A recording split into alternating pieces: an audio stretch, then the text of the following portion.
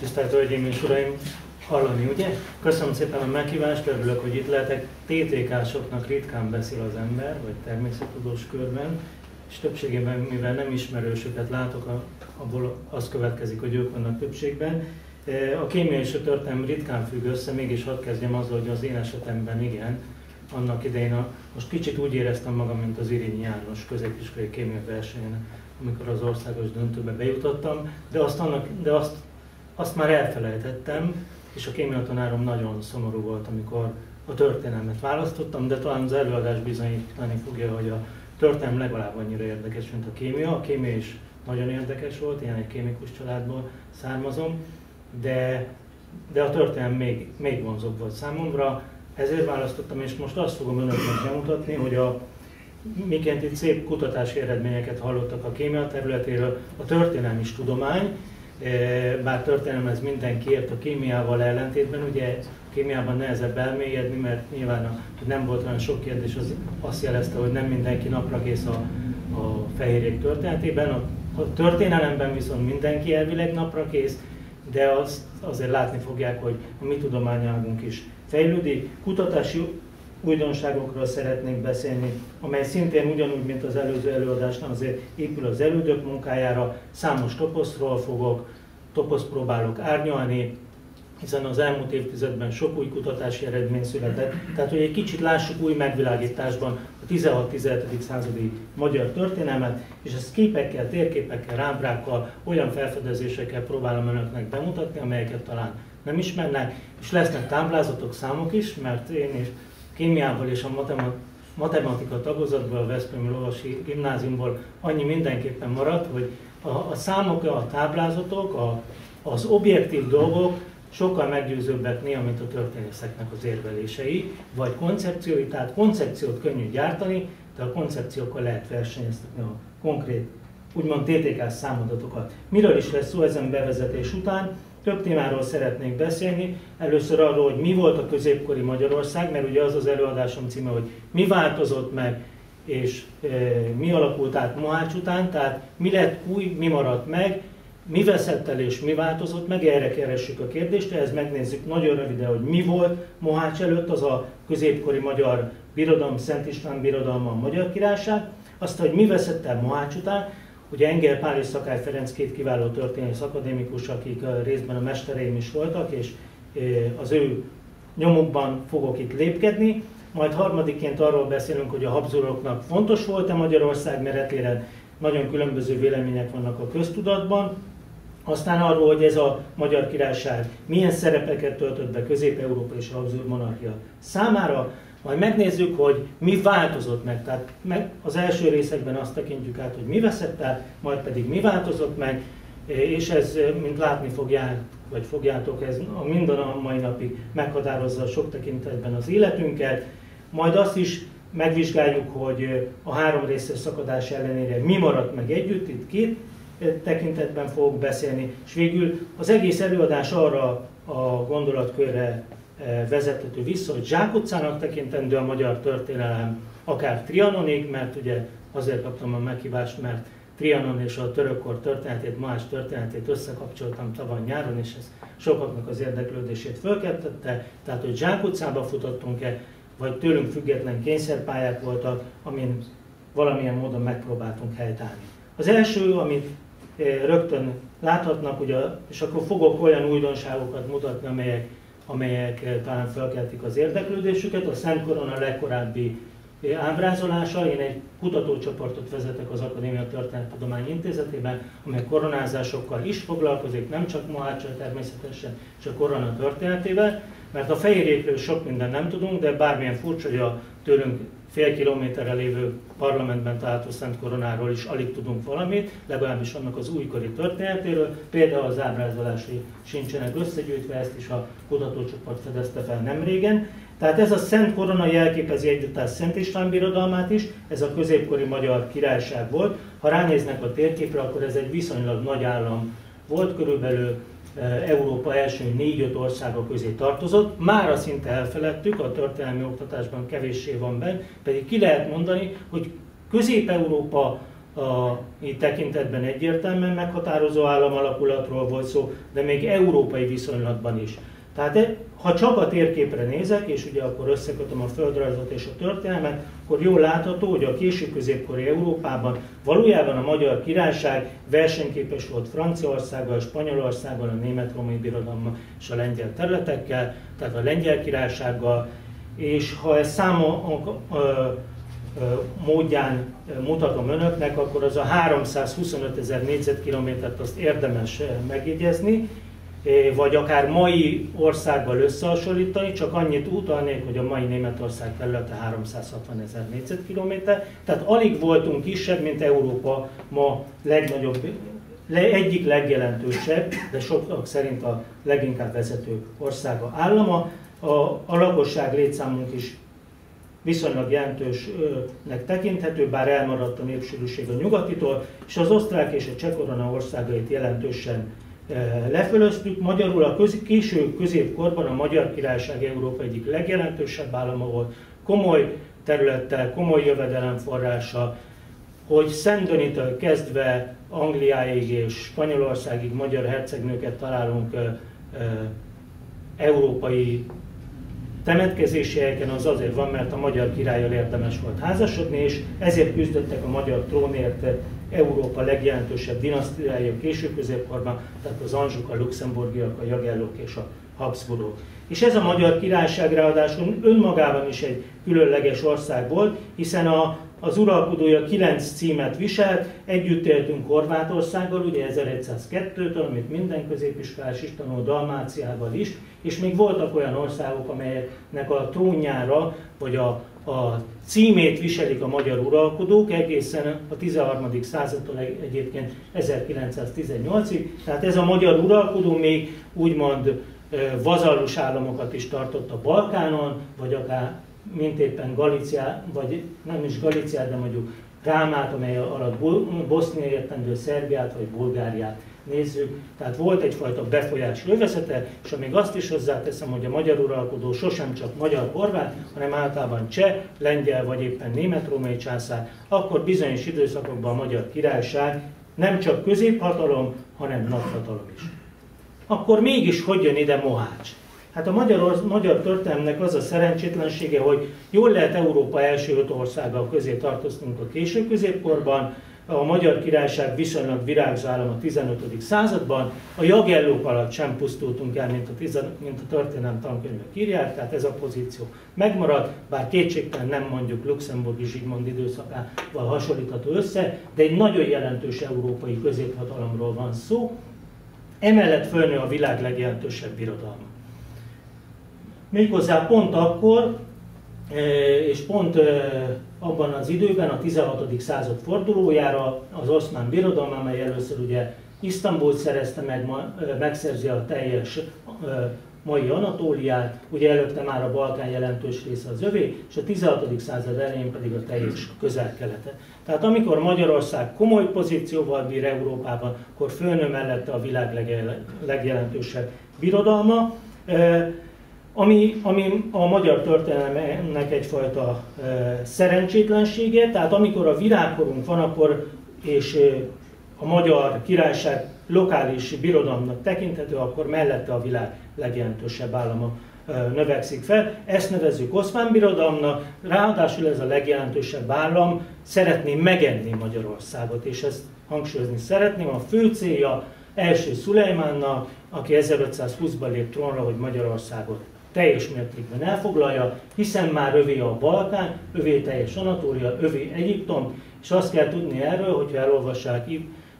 Andricsnak a híres könyvét, a, a, a Híd a Drinán, ugye a Nobel-díjas írónak, akkor abból az kiderül, hogy az oszmán birodalom elitjét balkániak vezetik, tehát a Balkánról származók adják a birodalom miniszterelnökeiket, a nagyvezíreket, akiknek az a célja, hogy a Balkánt a északra hódítsanak. Tehát egy Balkán lobby mozgatja az isztambuli udvar, valójában a 15. századtól a 15. század elejéig, és minden erővel arra törekszik ez a balkáni lobby. Egyébként rosszul tették, hogy nem itt a délkeleten szerezték meg a vörös-tengeri eh, hajó útvonalakat, mert még nagyobb birodalmán nőhették nőhettek volna föl, hanem az a céljuk, hogy Magyarországot, a régi nagy rivális, amely az 1360-as évektől konfliktusaik vannak, ugye ott jelzik azok a csata jelenetek, a részben a magyarokkal való összeütközéseket, azt elfoglalják. Tehát Magyarország mellett fölnő a világ legjelentősebb birodalma, amelynek szultánja 1520 és 1566 között hét hadjáratot folytat Magyarország ellen, és az a célja, hogy megtörje. Nézzük az erőviszonyokat, amelyek önmagukért beszélnek. Amikor 1520-ban Szulajmán trónra lép, egy ötször nagyobb területű négyszer nagyobb lakosság számú, a GDP-je sokszorosa, és ami a legjelentősebb a katonai hadereje, pedig körülbelül háromszor négyszerese a magyarországi haderőnek. Hozzáteszem, ez a magyar haderő nagyon jelentős. Tehát Mohács, konkrétan Mohácsra futtatva a magyarországi csapatok, a keresztény haderő 26-27 ezer fő volt Mohácsnál, ezzel szemben ugye a 120 ezer fős haderőből 75-80 ezer érkezett Mohácshoz. A csata valójában csak szerencsével volt nem nagy vereségként el, elkerülhető. Nagy szerencsével esetleg padhelyzet kihozható lett volna benne, belőle, de az óriási szerencse kellett volna ahhoz. Tehát valójában olyanok az erőviszonyok, hogy ki kell mondanunk, nem az a kérdés, hogy kikapunk-e Mohácsnál, hanem mennyire kapunk ki, és Magyarország a balkáni államok sorsára jut, jut-e vagy, jut vagy sem, ez az alapvető kérdés. Ráadásul Szulejmán Szultán hadserege a világ legerősebb hadserege, noha ez a 30 ezer főből az a 27, amely Mohácsnál fölvonult, az nagyon jelentős. Annyit Európában is csak a német-római császár, a, a francia király és a Velence tudott a korban kiállítani. Tehát nagyon jelentős a pozíciónk európai szempontból, kiváló a Moásnál felvonultatott haderő, késő középkorban ez az egyik legnagyobb, de ide jön a háromszor akkora, amely ráadásul az elmúlt évtizedet végigharcolta a közel-keleten, és szét akar bennünket verni és szét tudott verni. Tehát nem az volt a kérdés, hogy ki kapunk-e Mohácsnál, maximum az volt a kérdés, ha nem kapunk ki Mohácsnál, akkor mikor kapunk ki következő ö, időszakban, mert hangsúlyoznám, Szulejmánnak az volt a célja, talán jelképes is, hogy felmutatja az ujját, hogy meg, megszerzi a magyar koronát a magyar királyság területén.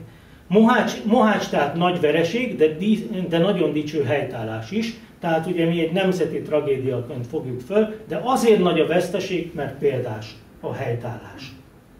Ennyit talán erről a bevezetésről, a, a Mohácsról és a lehetőségeinkről. Tehát egészen az új kutatások alapján egészen másként látjuk azt, hogy milyen volt a magyar királyság ellenállási lehetősége. Valójában, ha teljes Közép-Európa fogott volna össze, vagy teljes Európa, akkor is kikaptunk volna. Valószínűleg. A fran- és persze Európa sohasem volt egységes, ma sem az, akkor sem volt. Ugye természetesen rögtön feltetik a kérdést, hogy miért nincs akkor keresztény összefogás, mert nincs keresztény összefogás, politika van és hatalmi érdekek, ez a középkorban, késő középkorban sincs másként. Mi veszik akkor el Mohácskor, és mi változik meg?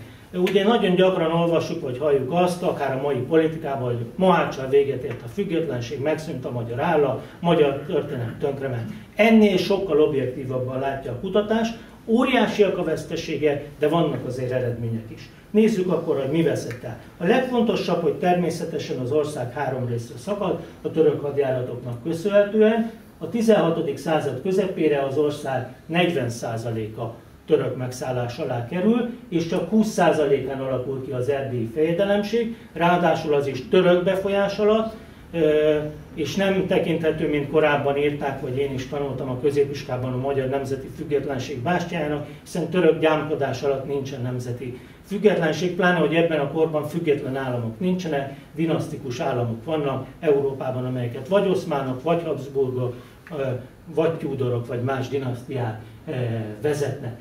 Tehát három részre szakad az ország, a veszteség óriási, 40%-át elveszti középre, és 20%-a pedig leszakad. Ezért mondhatjuk azt, hogy egyfajta első különleges trianon is lezajlik. A magyar királyság, a történeti magyar állam területe három részre tagolódik, és valójában ez azzal is jár, hogy noha egy történelmet kellene tanítani a 16-17. században a középiskolákban, ezt nem lehet egy történelmként felfogni. Még én is így tanultam, de nincs egy magyar történelem ebben az időszakban. Van egy magyar királyság története, van egy erdélyi fejedelmség története, és van egy oszmán birodalom története. Mindegyikben élnek magyarok, de nem azonosak az érdekeik. Azért nem is lehet azonosak, hiszen a két szemben álló fél, az oszmán birodalom és a Habsburg monarchia, amelyhez csatlakozik a magyar királyság, azáltal, hogy 1526-ban Habsburg Ferdinándot királyával válasszák, majd megkoronázzák, ezáltal a magyarság két nagyhatalom határvidékére, két oldalra kerül, tehát nagyon jól lehet azt kellene tanítani, vagy azt tanítja az új történelemtankönyvek egy része is, hogy egy magyar történelem van itt, és ez sajnos e, muszáj lesz előbb-utóbb belátni, hogy három részre szakadva, ha tetszik, hanem nem fogunk tudni egy magyar történelmet tanítani, hiszen különböző nagyhatalmak oldalán állnak a magyarok. Ez új, teljesen új szituáció, és ilyen szempontból Mohács borzasztó fontos fordulópont, hiszen a magyar történelemben ez borzasztóan új helyzetet teremtett.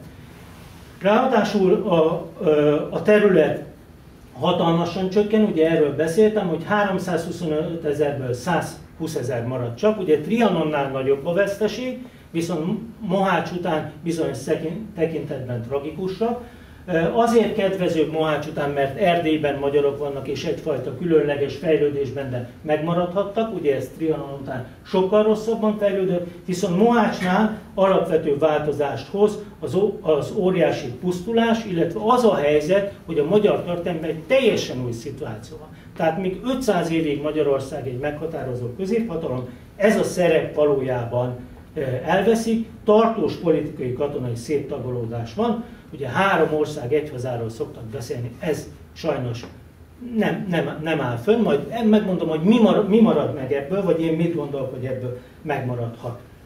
Amire már utaltam, hogy Erdély oszmán akaratból jön létre, ezt ugye még különösen szükséges kiemelni, mert talán nem mindannyian tudják, hogy az erdélyi fejedelmség nem azért jött létre, mert a magyarok egyrészt ott szeretett volna egy független önálló magyar államot, hanem Szulajmán szultán úgy döntött, hogy azt a részét az országnak nem szállja meg, nem foglalja el szerencsére, ez az erdélyi magyarságnak, ott élő magyar, német, eh, román és más lakosságnak a szerencséje, tehát nem szállta meg azokat katonailag, eh, hanem engedett egy kis eh, szabad utat, ez ez ahhoz vezetett, vezetett, hogy ott magyar fejedelmek vezetésével egy, egy magyar állam, eh, magyar vezetésű állam létrejöhetett még a török eh, fennhatóság alatt is volt, vagy török befolyás alatt. Az elszakítás azonban tartós maradt, és ezért mondom, hogy ami Mohács után lezajlik, az hosszú távú folyamat, egészen 1867-ig nem kerül vissza Erdély a magyar királysághoz.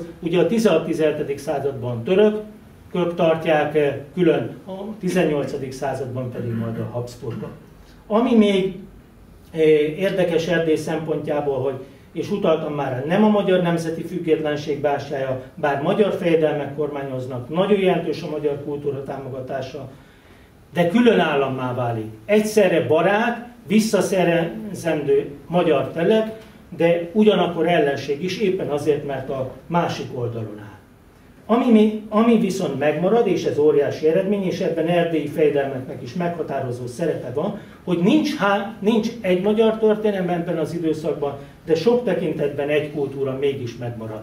Tehát három országban élnek magyarok, három birodalomban, három területen, de egyfajta kultúrájuk, egyfajta, bár megosztott keresztény kultúrájuk lesz, tehát az sem igaz, amit mondunk, hogy egységes keresztény kultúra, hiszen a kereszténység ugye a reformáció korában pont ekkor éli egyik válságát, és ugye abban is csalunk egy kicsit, én történészként is ezt el kell ismerni, hogy általában a magyar történész csak a magyarok történetéről beszél, és nem beszélek mondjuk az Erdélyben lévő több százezer román történetéről, a román pedig csak a románok történetéről beszél Erdélyben, és kiadja a magyarokat, az objektív azt, ha mindegyikről próbálunk beszélni. Ami még a török útítással és a mi veszettel összefügg, hogy szinte felmérhetetlen a háborús pusztítása. A hét szultáni hadjárat és az elkövetkező hadjáratok mind-mind ahhoz vezetnek, hogy Magyarország területén tetemes a, a pusztulás, egyes területeken 60-90 százalékos. Tehát a településrendszer, a város és kolostorálózat óriási károkat szenved. Talán ha a déli kronika előtt hallgatják a harangszót, akkor ugye mindig bemondják, hogy az a település, igen, az is elpusztult a török korban. Ez is elpusztult, szinte nincs olyan, aminél nem mondanák be, hogy nem pusztult el a török korszakban. Elpusztíthatják a háború. Tehát nem kell mindent a törökökre fogni, az, az is nagyon hibás elképzelés lenne, a háború pusztít önmagában. Ugyanúgy pusztítottak a török tatár csapatok, mint a német császári vagy vallon csapatok, de ne, legyünk illú, ne legyenek illúzni. Bocska István, Magyar Hajdói, vagy Betlen Gábor erdélyi katonái, vagy Tököli kurucai ugyanúgy kirabolták. A magyar lakosságot is. Háború volt, ahol a katonának azt számított, hogy legyen élelem, működjön, el, eltartsa magát, és emiatt viszont települések százai pusztulnak el, a kolostorálózat tönkre megy, a magyar kultúra bázisai, a háborúskodás. Az, hogy 150 évig háborúskodás van, az felszámolja. Elegendő arra gondolni, hogy a Balkánon mi volt az elmúlt balkáni háborúkban, és akkor megértjük, hogy ma Horvátországban a tengerpartra utazva még mindig szétlőtt falvakat látunk. Ez ugyanígy igaz a 16-17. századi Magyarországra. És ami szintén Trianonnal összefügg, már Szakály Ferenc mesterem is kimutatta, hogy alapvetően megváltoznak az etnikai viszonyok, tehát Magyarország, a történeti Magyarország területén ugye a magyar lakosság a folyóvölgyekben él, és mivel a folyóvölgyekben haladnak a nagy hadseregek, a magyar lakosságot tizedeli meg a háború leginkább. Ennek tragikus következménye van, hogy hol húzzák meg a trianoni határokat, az valójában nem Trianon idejében dölt el, hanem már a 18. századra eldől. Ugye azután csak romlik a helyzet, a betelepítésekkel, amelyeket egyébként többségében magyarok végeznek, magyar nagybirtokosok, magyar főurak, magyar uralkodók, mert ugye kell a munkaerő, akkor még nincs nemzeti érzés a modern értelemben, viszont munkaerő kell, tehát az etnikai viszonyok radikálisan megváltoznak, és a magyarság megindul a kisebbségbe kerülés útján. Tehát ha nincsen török hódítás, nincsen három részre szakadás, nincs etnikai átrendeződés, teljesen más közép-európai történetek. Valójában Trianon sincs úgy. Valami biztos van, mert nyilván három millió szlováknak akkor is lett volna előbb-utóbb külön állama, de másként, egész másként zajlik Közép-Európa története. És hát az ország déli területére felkúszik a Balkán, ezt így, így fogalmazza meg az újabb történetírás, tehát a délszláv menekülők, akik ugye a török által elpusztított területekre a Tisza vonal, a, a Maros vonaláig, Pécs környékéig, Baja vidékéig följönnek, amely nagyjából a trianoni határa lesz egyébként azonos, az itt már elvész. Tehát a te, többségében például, hogy egyetlen példát mondjak, magyar lakosságú Temesköz fél évszázad alatt lakosságot cserél, és a török hódítás elől a magyar elit kimenekül a királyságba. Tehát nekünk az a szerencsénk egyébként ilyen szempontból, hogy megmarad egy magyar állam, ahova lehetett menekülni, de van egy hátránya, az elhagyott területek legdélibb része az örökre elvész. És valójában a visszafoglalás után sem sikerül ezt már teljességgel helyreállítani. Az az összességében évszázadokra kiható, nagyrészt elkerülhetetlen, hiszen Szulejmánék eh, diktálják a magyar történelmet, ugye ezt még szeretném kiemelni. Az a nagy változás, hogy még a 1526 előtt, amikor középhatalom voltunk, mi szabjuk meg a régiónak a sorsát, 1526 után a mi sorsunkat szabják meg Isztambulból és Bécsből. Ezt roppant nehéz ma is elfogadni hiszen 500 évig mi szabtuk meg a régió történetét, utána a miénket szabják meg, és úgy átírja a török hódítás Közép-Európa térképét, hogy valójában a mai, mai államok létrejöttében Szulejmán hódításának alapvető szerepe van. Tehát olyan visszafordíthatatlan politikai, társadalmi, etnikai változások zajlanak, amelyek jelentős részben elkerülhetetlenek, de nem csak a 16-17. századi fejlődésünket, hanem valójában az egész magyar történelmet megszabják. Mi marad? Ami megmarad, ugye a Szent Istváni államból nézzük meg ezt, annak az élete is nagyon megváltozik, hiszen az uralkodója a 16. század közepétől a német-római császárságból kerül ki, és egészen a 19. század elejéig a magyar Szent Korona és a német-római császári korona összekapcsolódik, tehát a magyar uralkodók egyszerre német-római császárok. Volt ilyen már a középkorban, mikor? nem akarok vizsgáztatni, de kettő uralkodó alatt is, ugye Luxemburgi Zsigmond alatt és Habsburg Albert alatt. Tehát egy luxemburgi császár alatt és egy Habsburg német-római király alatt. Tehát nem új a dolog. Miben új? Az a változásnak a legjelentősebb része. Tehát van, amikor ez kedvező is lett. Akkor kedvező számunkra, ha a császár itt lakik fenn a várban, Budán. Tehát ha Buda a központja az, a közép-európai birodalomnak, akkor szuper a helyzet. Csak ugye az a probléma, hogy Buda sem a miénk már, amikor ez a helyzet kialakul, hiszen 1541-ben ide kitűzik úgy a félholdat, mint, mint ahogy ma ugye a gyönyörű félholdba jöhettünk ide az akadémiára, a vár fölött egy félhold volt, talán jelképesen az előadásomnak köszönhetően. Ez a félhold itt van 150 évig, tehát a magyar főváros élete is alapvetően megváltozik. A magyar trónra Habsburg uralkodó kerül, a Habsburg uralkodó már nem lehet itt. Megpróbálta, hogy itt legyen. Ez sincs benne a történelemtankönyvekben, háromszor próbálja visszafoglalni, 1530-ban, 1540-ben és 1540-ben és 41-ben első Ferdinánd magyar király Budát, nem sikerül. Szapolyi János király védi Budát, egyébként török csapatokkal, ez sincs benne a tankönyvben, mert ugye kellemetlen elmondani, hogy magyar uralkodó budai várát török hadak is védik, de ez a valóság, ugye Szapolyi János 1528-tól török vazalúságba kényszerül, mert külpolitikailag Európában elszigetelődött, ahogy egyik kollégám fogalmazott, Fodor Pál egy híres oszmanista, ő lett a törökök magyarországi szálláscsinálója, és Buda 1541-től valójában a magyar történelemből kiiktatódik, a régi magyar főváros szerepét más városok veszik át.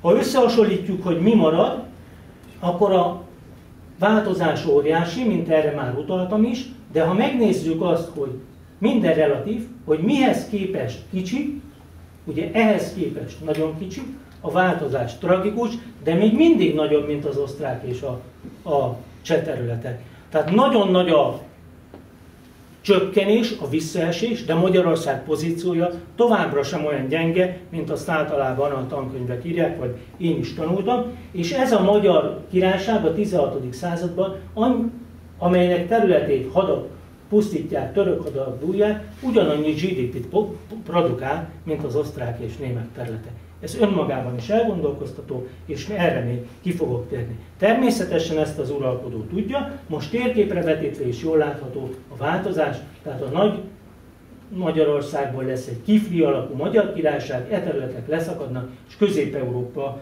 új monarchiájához csatlakozunk.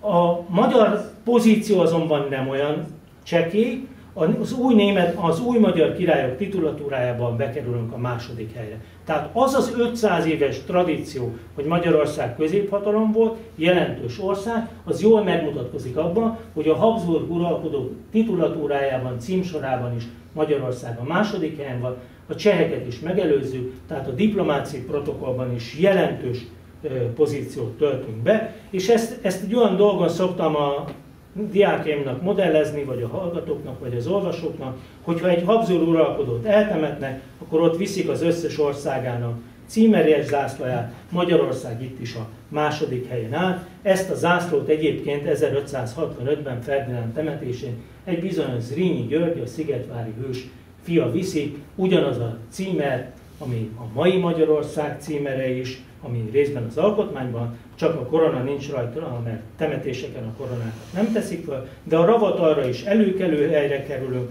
a német felségjelvények vannak a középső legelőkelőbb helyen, a magyarok a másodikon, a csehek a harmadikon. Tehát az újonnan létrejövő monarchiának amely állt át osztrák, német, magyar és cseh területükből, a magyar területek a második helyet foglalják el, és még a magyar felségjelvényeket is viszik. A Szigetvári ős a halála előtti évben például itt viszi a magyar Szent Korona másolatát, Ferdinándnak a temetését. Persze erre mondhatják önök azt, hogy ez játék, a diplomácia az egy bohóckodás, Ugye eljátszuk, hogy a magyarok milyen fontosak, de közben szépen lenyomjuk őket, és ütköző állomány gyepüvé vagy gyarmattá tesszük, mint ezt írta sokáig a magyar történelem. Valóban igaz ez az állítás, amit egyébként nagyon gyakran még mai politikusoktól is hallunk, akik ebben nőttek föl, ezt tanulták, Nemeskürti István tanárurat olvasták, aki még szintén ezt tanulta, és aztán részben ezt írta le. Igaz -e ez az állítás? Úgy gondolom, hogy nem. Ezt a 19. századi alávetettségérzésünknek és a, a 16-17-19. századi alávetettségérzésből fakad, de a történésznek nem kell elfogadni se a korabeli magyar politikus, se akár a mai politikus véleménye, ugye objektívabb tényezők alapján próbálja a, az eseményeket vizsgálni. Fontos volt-e Magyarország a Habsburg monarchiának? Én úgy érzem, hogy igenis fontos, nem ütköző állam voltunk, hanem védőbástya, nem gyarmat, hanem éléskamra és meghatározó jövedelemforrás. Lássuk ezt egy picit. Ugye ütköző állam az valakinek, ha van, e, van egy országom és van egy előretolt terület, és azt felhasználom a saját védelemre. Csak hogy a Habsburg monarchia esetében nem erről van szó, hiszen az a Magyar Királyság, ahol ez a török ellenes határvédelmi vonal, amit itt a térképen láthatnak az Adriától az Erdély határig, ez a Habsburg monarchiának szerves része. Tehát nem előre tolt része, hanem része. Kellett ott biztosítani az ütközállam funkciót, akkor szépen bevonult. Mondhatnék példákat, Luxemburgi Zsigmond 1400 az évek elején ötször vonul be Boszniába, ha nem tetszik ott az elit kivégezteti, csak azért, hogy Bosznia magyar vazalus állam maradjon, és a török ellen biztosítja a védelmet. Hozzáteszem, jól teszi, mert a magyar államnak létérdeke volt, hogy az erősödő török birodalom ellen védekezzen. Itt nem ez a helyzet van, nem tehette meg egyetlen Habsburg uralkodó sem azt, hogy, hogy csak úgy hip-hop bevonul, hiszen a magyar királyság az az ő legitimen, törvényesen megszerzett országa volt. Itt teszek egy zárójelet, mert e tekintetben is van egy kis vita a köztudatban, mind Habsburg Ferdinánd, mind Szapoly János teljesen legitim, törvényes uralkodó. Tehát Mohács után az a különleges helyzet következett be, hogy mindkét uralkodó legitim volt, mindkét uralkodó törvényesen választották meg, de a két uralkodó egymás ellen küzdött, és próbált, és ez megosztottsághoz, belháborúhoz és valójában három részre szakadáshoz is vezetett. De egy politikus ritkán mond le a trónról, ha már megszerezte. Ez, ez Szapolyi esetében sincs másként. Tehát feltehetik azt a kérdést, hogy miért nem mondott le. Hát egy király nem mond le az ellenkirály érdekében. Ilyen politikus nincs, aki ezt, vagy nagyon ritkán van, és Szapolyi az ország egyik legjelentősebb uraként kerül Magyarország trónjára, tehát furcsa lenne azt követelni tőle, ráadásul ő szerzi meg előbb a trónt, hogy Ferdinánd javára lemondjon. Visszatérve tehát, ez nem egy előre tolt gyepű, egy előre tolt ütköző állam, hanem egy védőbástya, már csak azért is, mert ez a védőbástya csak úgy működhetett, hogy nagyrészt nem magyarországi jövedelemből finanszírozták. Talán ez sem ismert kellőképpen a, a történeti köztudatban, hogy a, ha megnézik ezt a táblázatot, és mondtam, hogy a számok sokkal beszédesebb, mint a történeti koncepció, furcsa az a gyepű, vagy az az ütköző állam, amelynek a, amely csak a végvári katonaság zsoldjának a, ha a teljes GDP-t arra költenénk, akkor csak a negyedére lenne elegendő. Tehát ez, ebből az következik, hogy a Balassi Bálint és katonatársai zsoldját fizetni akartuk volna a 16. század második felében, akkor ez körülbelül másfél millió rajnai forintba került volna. A korabeli magyar GDP ez a körülbelül 800 ezer forint, tehát ha Magyarország teljes jövedelmét csak a katonaság fizetésére költöttem volna, akkor sem lett volna elegendő. Ha hozzáteszem, ha a teljes Közép-Európa összes jövedelmét arra költötték volna, akkor is épp, hogy elegendő lett volna. De akkor nincs udvartartás, senki nem evett, nem tartottunk kémeket, nem működtettünk államigazgatást, nem költöttünk oktatásra, ugye nincs kultúra, tehát magyarul önmagában Magyarország nem védhette meg magát, de valójában Közép-Európa is alkalmatlan volt erre. Ezért van az, amit olvashatunk a regényekben, hogy se pénz, se posztó. Tehát nem volt elegendő jövedelme teljes Közép-Európának a végvári katonaság fizetésére. Ezt a hiányt, ezt a 70% hiányt nem lehet pótolni. Magyarul Magyarország, ez a szép Magyarország, amit ezt a titkos haditérkép mutat be, amit nemrég fedeztünk fel Dresdában, a korabeli Magyarországról. Ez a Magyarország rászorul Közép-Európa katonai segítségére, Közép-Európa viszont rászorul Magyarországra. Tehát az a különleges helyzet alakult ki, hogy Magyarország igényelt külföldi támogatást, ez jelentősen érkezik, tehát az 1540-es évektől Magyarország rendszeres támogatást kap, de sohasem elég, viszont ez biztosítja Közép-Európa megmaradását. És ennek köszönhetően tölthetjük be a védőbástya szerepkört, amit nagyon szeretnék elkülöníteni még egyszer. Más a védőbástya, és más az ütköző állam. Egyúttal fontos jövedelemforrás vagyunk, ezt ugye nem kell magyaráznom, a számok önmagukért beszélnek. Ezek a békésen fejlődő területek ugyanannyi jövedelmet tudnak hozni, mint Magyarország. De ezt ugye akkor meg kell magyarázni, hogy lehet, hogy egy háború pusztítta ország ilyen jelentős jövedelmekre képes. Erre a válasz a jövedelmek megoszlása, a határvámok és a bányászat. A bányászat a közhiedelemmel ellentétben nem ment tönkre a fuggerek kivonulása után Magyarországról. A közép-európai jelentős vállalkozók, ugyanúgy, mint ma a nagy multik, a 16. században is továbbra is jöttek Magyarországra. A nagy multi csak akkor jön Magyarországra, ha abból neki jövedelme van. Ez akkor sem volt másként, ma sincs másként. A legjelentősebb bányabérlők és vállalkozók ha az államnak ekkora jövedelme volt 25% és a vám, vámból 36%, akkor ebből nem csak, akkor ez jól mutatja, hogy ezek nagyon prosperáló ágazatok, tehát a bányászat továbbra is, ha nem is olyan mértékben, mint a középkorban virágzik, ebből Magyarországnak jelentős jövedelme van, és a vámjövedelmeknek pedig az az oka, itt van nekünk egy kis szerencsénk a 16. században, tehát van egy kis szerencse a szerencsétlenségben, hogy a Mohács utáni időszakban van Európában egy népességrobbanás, nő Közép-Európa lakosság száma, ha nő a lakosság, akkor többet teszik, ha többet teszik, akkor több húsra van szükség, ha több húsra van szükség, akkor élőállattal jól kereskedni, mindenki ismeri, hogy a magyar szürkemarha jól hajtható nyugatra, iszonyú biznisz van benne.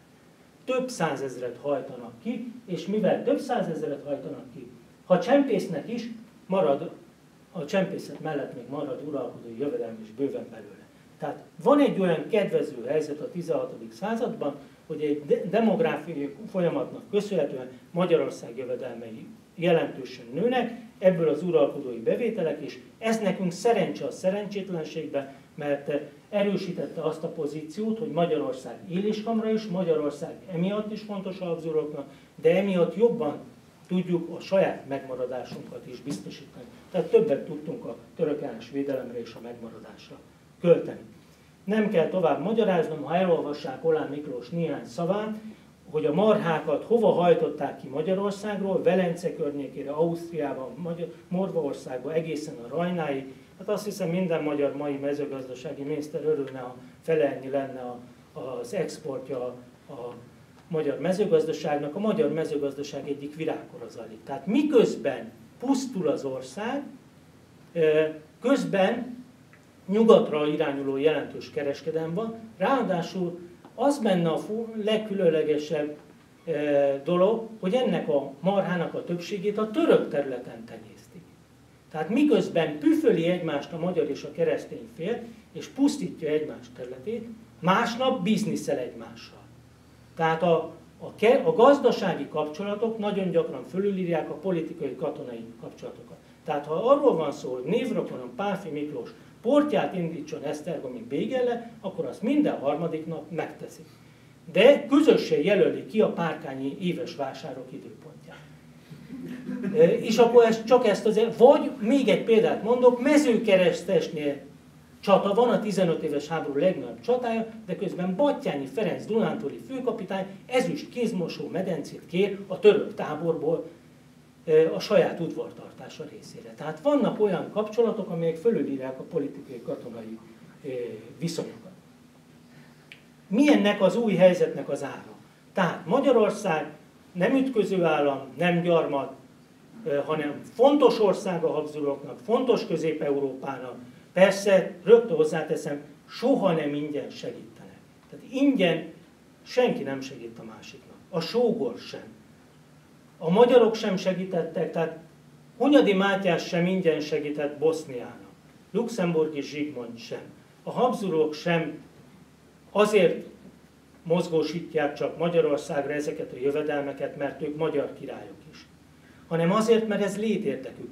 És kölcsönös egymásra utaltság van, amire utaltam. Tehát a monarchia központi területei rászorulnak Magyarországra, mi meg rájuk. Ugye tegyük hozzá még egy fontos dolgot, hogy Bécs és Esztergom között már csak 200 kilométer van. Tehát nem arról volt szó, hogy kicsi a veszély, hanem az volt, arról volt szó, hogy a lét a tét, ha ezt a furcsa mai kifejezést használom, az volt a kérdés, hogy Bécsig eljuthatnak-e a török csapatok. E, és ez a veszély ugye többször fennáll. Az idegen segítségnek viszont következményei vannak, és az új struktúrának is, és ezek óriási változásokat hoznak Mohács után, ezt tekintjük most át itt a következő részben. Ami megváltozott, ugye ezt már mutattam a kölcsönös egymásra utaltság kapcsán, és amit a korabeliek is érzékeltek, hogy Magyarország hallatlan nagy szerencsékbe és nyomorba taszítatott, írja a Bécsi Velencei követ, egy Vergiliuszi sorra utalva, nem csak egy királyságból, hanem a kereszténység első királyságból, amelynek királya korábban betegedett a francia királya, királyságból mondom tartományás Egy diplomata persze mindig hazudik, mert mindig a saját nézőpontja szerint, vagy adott emberek befolyására írja a véleményét, vagy ahogy ő látja. Egyrészt azért nem mi voltunk a kereszténység első királysága, bár én is örülnék neki, de ez nem igaz, de azt azért jó jelzi, amire utaltam, hogy az első ötben mondjuk ben voltunk.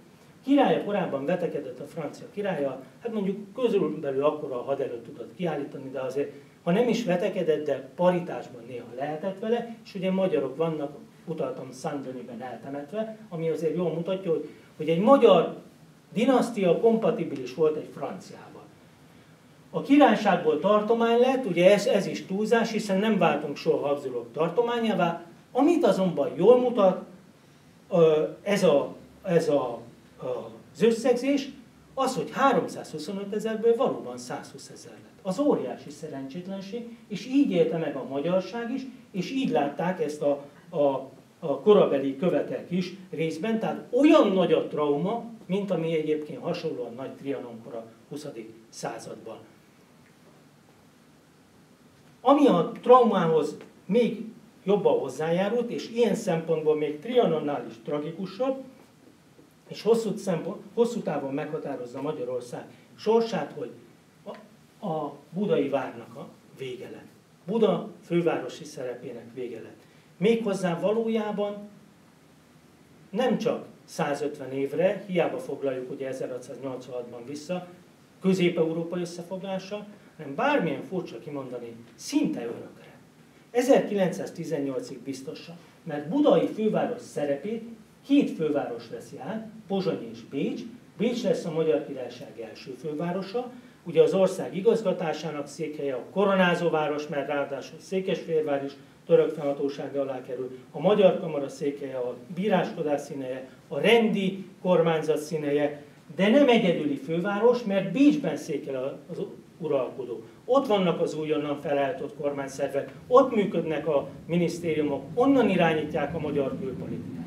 Magyarul ez a legnagyobb, tragikusabb Mohácsnál az a változás, hogy Buda szerepét több város veszi át. E, és ez a helyzet egészen 1918-ig így van. Tehát akkor lesz újra Buda magyar főváros, amikor a második trianon bekövetkezik, amikor az igaz, vagy az igazi trianon bekövetkezik, és az már nem a trianoni Magyarország, az már a trianoni Magyarországon következik be, tehát a, ó, akkor lesz újra egy önálló magyar államnak a fővárosa Buda, amikor már az ország csak 93 ezer négyzetkilométer. Tehát a változás, ami itt lezajlik, az igen hosszú távú. Tehát én a 16. századról beszélek, de valójában 1918-ig eldől Magyarország sorsa. Ugye akkor alakult volna másként, ha nincs a török hódítás, a Habsburgok nem Bécsben teszték a székhelyüket, hanem Budán. És ez alternatíva lett volna, hiszen Habsburg Albertnek itt volt a székhelye 1437 és 39 között. Tehát ha nincs török hódítás, nincs Mohács, nincs három részre szakadás, és Budán, esetleg Budán lesz a Habsburg dinasztia székhelye, akkor most nem nem Bécsbe járnának a, spa, a spanyol és japán turisták, hanem ide jönnének még többet, mert ez, ez a város lett volna Közép-Európa központja. De nem így történt, ugye két főváros lett, és ha még azt is hozzáteszem, hogy ez a Pozsony, ugye ma Szlovákia fővárosa, amely soha nem lett volna, ha ez a szituáció nem alakul ki, mert Pozsony egy kis porfészek volt a 15. század végi Magyarországon, egy lokális város az ország határán. Azért jön föl Pozsony, mert 1536-tól, mint a törvénycikk is mondja, a 19. század közepéig Magyarország fővárosa. Tehát valójában a magyar történelmi fejlődés hozza föl Pozsonyt abba a helyzetbe, ami majd utóbb Szlovákia fővárosává teszi.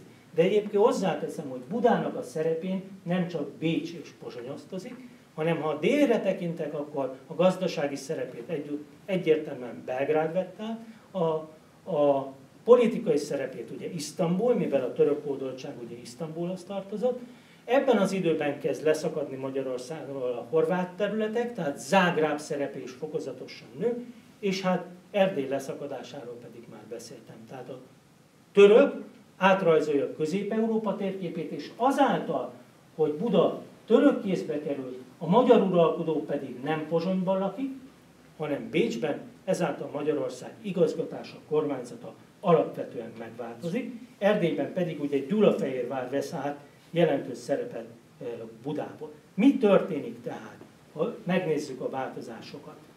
A Buda helyére Pécs és Pozsony lép, a magyar ügyek közös ügyekké válnak, a hadügyek, külügyek, pénzügyek közös területté, nem a kiegyezéssel, mint a középiskolai tankönyvek írják, hanem valójában a 16. századtól. Minden ügy közössé válik azáltal, hogy közös uralkodó van. És ez viszont azzal jár, hogy Magyarország, a magyar elitnek a pozíciója jelentősen csökken a magyar királyság irányításában is, nem is beszélve a monarchiáról. Mert ahol van a központ, ott dőlnek el a döntések. Ez a szituáció azonban, tisztelt Hölgyeim és Uraim, nem új. Ez volt a középkorban, magyar-horvát viszonylatban. Amikor nincsenek horvát ügyek, nincsen horvát udvar, nincs horvát királykoronázás. Ugye akkor mi jól lenyomtuk a horvátokat, valljuk meg. Mert egy nagy Magyarország volt egy kis horvát területtel szemben. A, azt mi szeretjük elfeledni, a horvátok pedig borzasztóan nehezen viselik ezt mind a mai napig.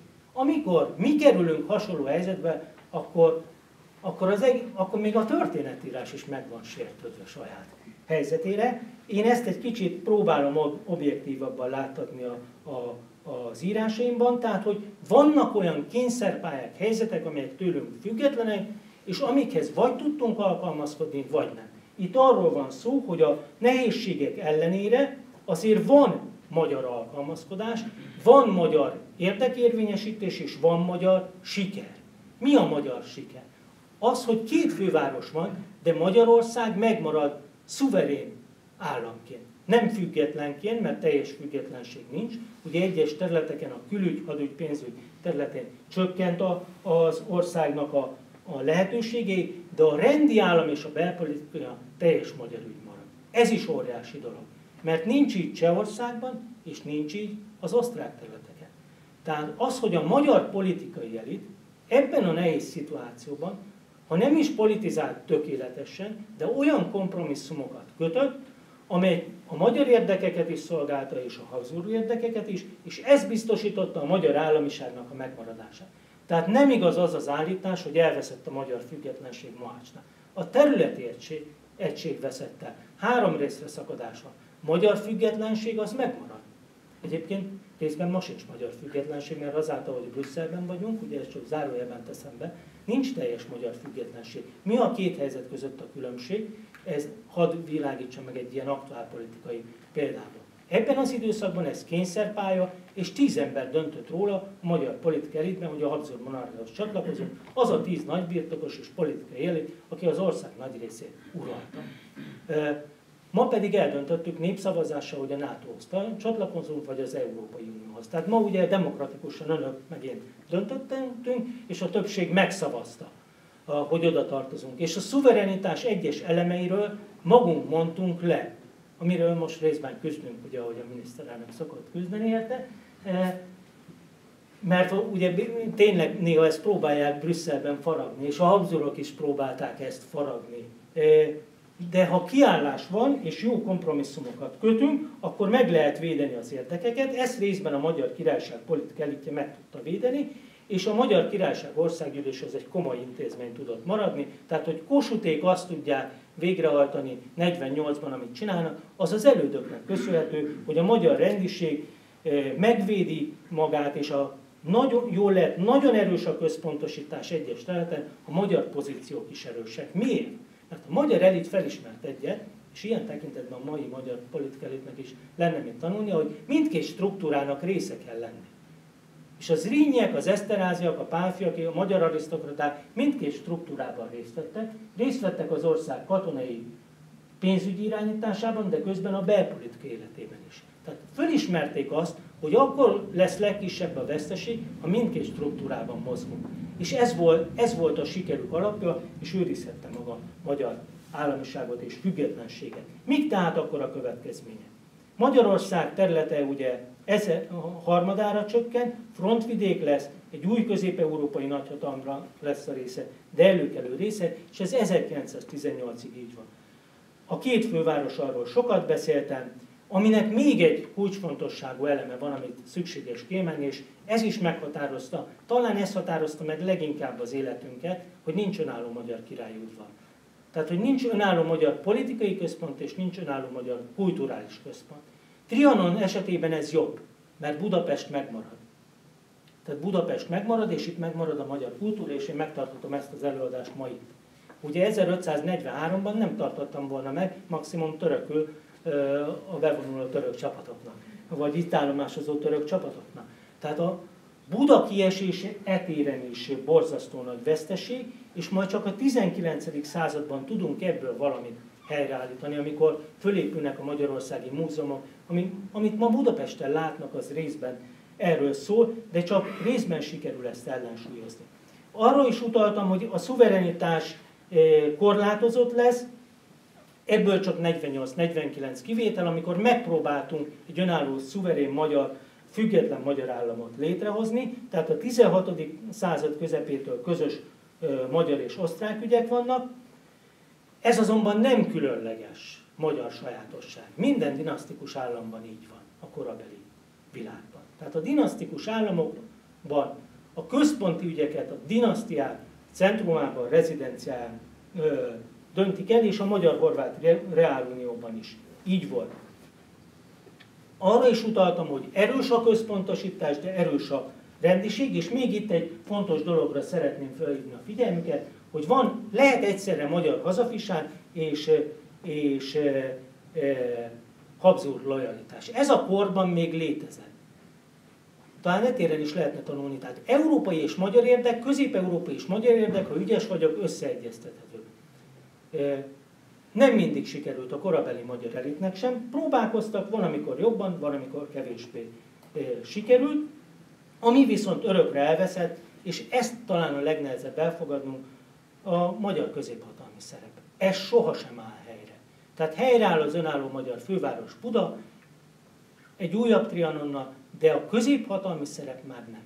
Na, talán ez a legnehezebb, amit, amit ebben a hosszú fejlődési folyamatban nehéz feldolgozni. Miről van tehát szó? Itt is évszázadokra kiható, részben ugyancsak elkerülhetetlen, visszafordíthatatlan, visszafordíthatatlan hangsúlyoznánk. És ugyan vannak pozitív elemek, de nagyon sok a negatív változás és a sorsfordító kényszerpálya, amit nem mindig tudtunk kellően befolyásolni. Mi marad meg? Akkor még erre keresünk. Megmarad azért egy virtuális Szent Istváni birodalom, mert hogy a magyar, magyar politika elit fenntartja az igényét arra, hogy egyszer újra helyreáll az ország, és ezt, ezt a koronázásokon mutatja be legjobban, amely itt láthatnak, tehát a királyi titulatúra, ahogy látták, a királyi címsorban szereplő országok zászlai elkezdik a koronázásokon vinni a 16. századtól. Mi történik? Ténylegesen elvesztjük az ország 60%-át, de a tényleges területveszteséget a szimbolikus módon erősít és hogy a parlamenten, ha ma elmennek az előadás után, ezeket a címereket látják, az ide vezethető vissza. A parlament főbejárata fölött ezek a címerek vannak nagy részt ott.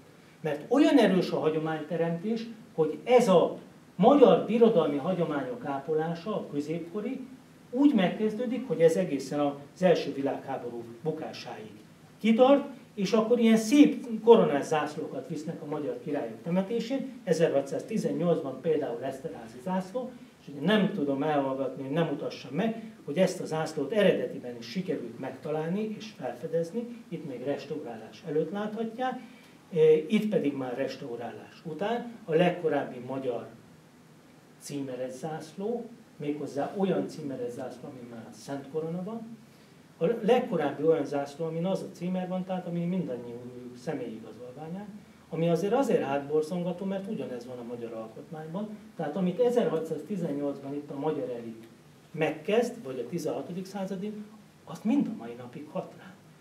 Tehát e, ezt szeretném kiemelni, hogy a magyar államiság megőrzése a Habsburg monarchián belül is megvan. És hogy ma magyar államról beszélhetünk, ezeknek a politikus elődöknek akkor is, ha néha lelabancozták őket, vagy lelabancozzák őket, nagyon komoly szerepe volt mondjuk ennek az Eszterházi eh, Miklósnak. Történelmi zászlóink sorában remélem egyszer bekerül, mert a Betlen Gábor zászlója ott van, Zrínyi Miklós ott van, de a legkorábbi Szent Koronán zászló még mind a mai napig nincs ott. De egyébként a legkorábbi horvát zászlót is sikerült megtalálni, ez is egy Eszterházi gyűjteményben van. Érdemes őket megnézni, és hogy lássák, hogy miért utaltam a parlament főbejáratára, ezeket a zászlókat az utolsó koronázáson is viszik. Amikor már recseg ropog ez a, az egykori nagybirodalom, már addig van valami töredéke, a hagyomány még akkor is él, egy, egyébként egy történész elődünknek köszönhetően, aki részt vett a ceremónia megszervezésében. És a magyar hagyományokat mondjuk azzal is ápolják a koronázáson, hogy mutassak még egy ilyen szép felfedezést, hogy a magyar királyi udvarmester az egész ceremóniát egy ilyen szép pálcával koordinálja, és itt tartja a ma itt a várban, felnézek a Nemzeti Galériában lévő gyönyörű festményen a pálcát a kezébe. Ugye ez 1792 az első budai koronázás, fent a Hadtörténeti Múzeum melletti romban, ugye a Mária Magdolna templomban, akkori Ferences templomban, és a gyémántokkal díszített gyönyörű szentkoronás magyar államcímeres pálcával vezényelte a ceremóniát, megmutatván azt, hogy van magyar államiság, ha csak á, e, megtörve is, megfogyatkozva és korlátozott szuverenitással, de a magyar államiságot a magyar politikai őrzi. Tehát a koronázásoknak e tekintetben kiemelkedő szerepe van abban, hogy a magyar középhatalmi szerepet őrzik, a magyar államiságot fenntartják, hangsúlyozzák a monarchián belüli szuverenitást, megőrzik a magyar királyi udvar vir- virtuálisan, mert abban reménykedtek, hogy lesz egyszer újra önálló magyar udvar. Ugye mindenki azt hitte, bízott benne, még 1867-ben is. Hát azért épül fel a vár.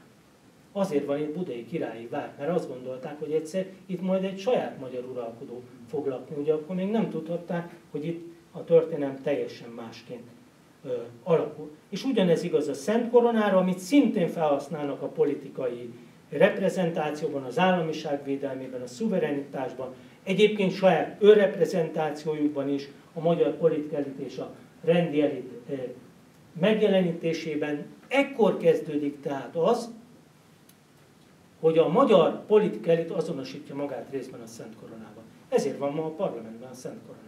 Mert a miniszterelnök erre tud hivatkozni, erre az egy pontra. A többire nem hivatkozik, mert ugye a politikus mindig válogat. Tehát ő kiválasztja ezt, mert ha, ha ugye más választanánk ki, akkor máshol lehetne tenni a koronát, de a miniszterelnöknek részben igaza van, a parlamentben is lehet a korona. Tehát, mert a parlament a magyar politika elitet és a magyar rendiséget is jelképezi már 1608-tól. És ugye az a politi- ügyes politikus, aki ügyesen válogat az egyes politikai érvrendszerből. A magyar történelmnek tehát a legfontosabb erekvéje, amit eh, kutat a kutatócsoport, a magyar államiságnak is szuver, eh, szimbóluma, de, mint látják az ezer éves történelemnek is, a függetlenségnek is nem egyszerű műtárgy. Tehát aki azt mondja, hogy csak a múzeumban való, azzal sem lehet egyetérteni. Az őrzés jelén lehet vitatkozni, a jelentőségén azonban szer. Úgy érzem, hogy bár mondjuk egy 15 éve nagyon vitatkoztak rajta, most már talán ez lekerült. Tehát most már senki nem mondja, hogy ez egy hálósipka, mint akkor ugye a politikai közbeszéd egy részében ez a vélemény is nagyon erőteljesen elterjedt.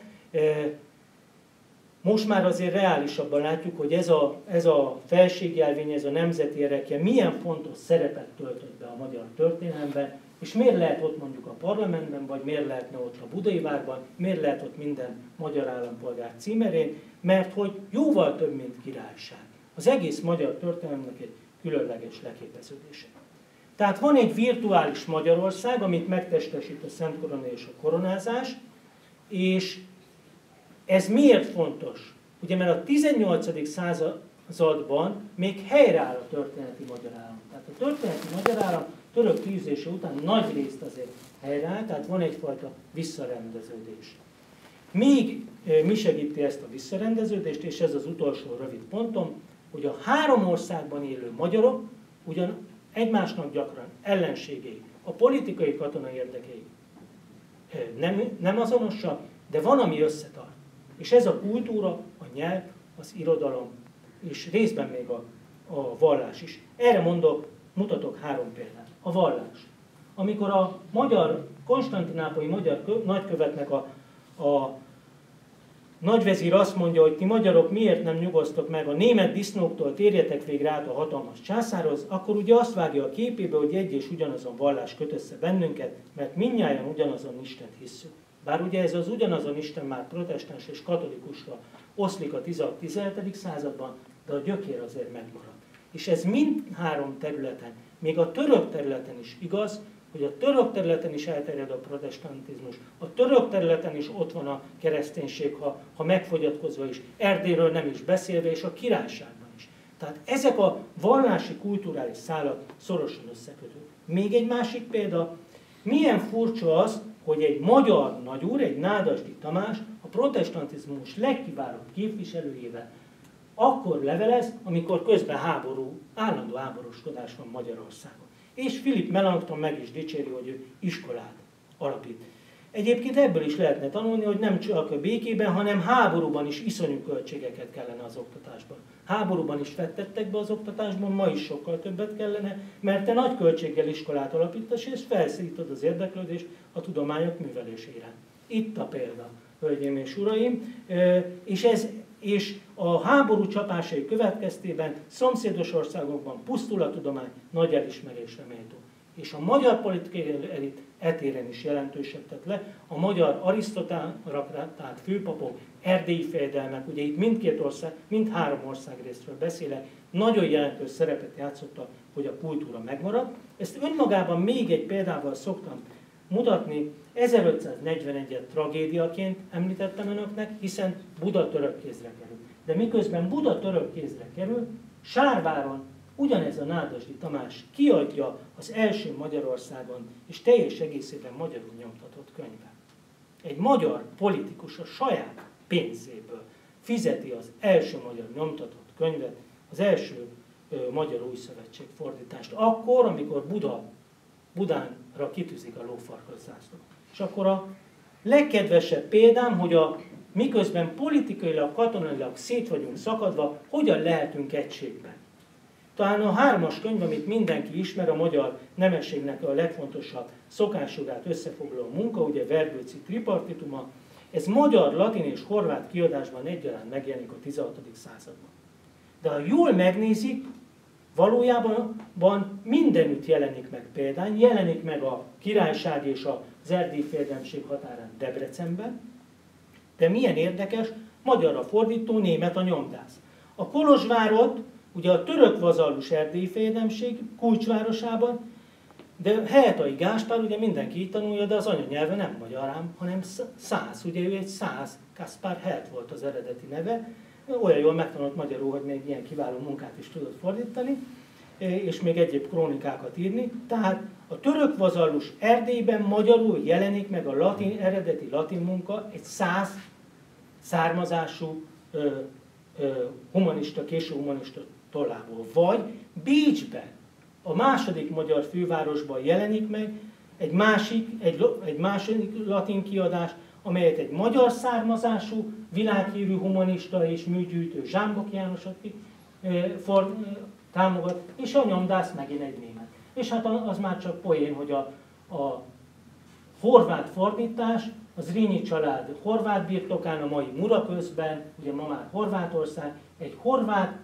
szövegíró, de ugyanaz a német vándornyomdász adja, támogatja, aki de, a Debrecenit is, és amíg hozzáteszem, hogy a birtokosát ekkor ennek a Nedelicnek úgy hívják, hogy Zrínyi György, aki ott a magyar zászlót vitte Ferdinand temetésén, akkor a történetünk egész keret. Magyarul van három részre szakadás, van politikai szétszakítottság, de kulturális, nyelvi és összetartozás mégis megmarad.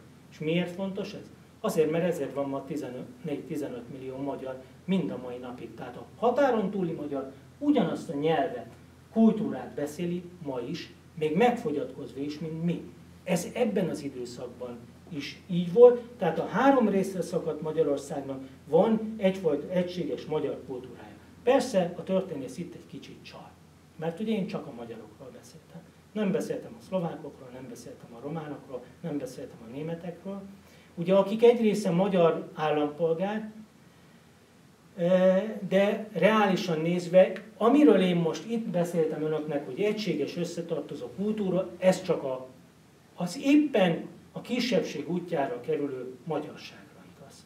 Összességében tehát a kép nem olyan, nem annyira kedvező, mint azt próbáltam volna bemutatni, de összességében a politikai katonai szétszakadás ellenére van egyfajta magyar különleges összetartozás és egybetartozás, és akár még ebből is lehetne ma is tanulnunk, hogy, hogy ezt hogy lehetne jobban erősíteni. És ezért van az, hogy eljön Nagyszombatba egy flamand professzor a 16. században, és ezzel zárom is előadásomat, aki egyébként a korabeli világ egyik legjobb arisztotelész szakértője, és azt mondja, 1570-es években már, már hátborzolgatható, hogyha Isten békét ad ennek az országnak, akkor ez a legalkalmasabb hely tudományos tervek megvalósítására.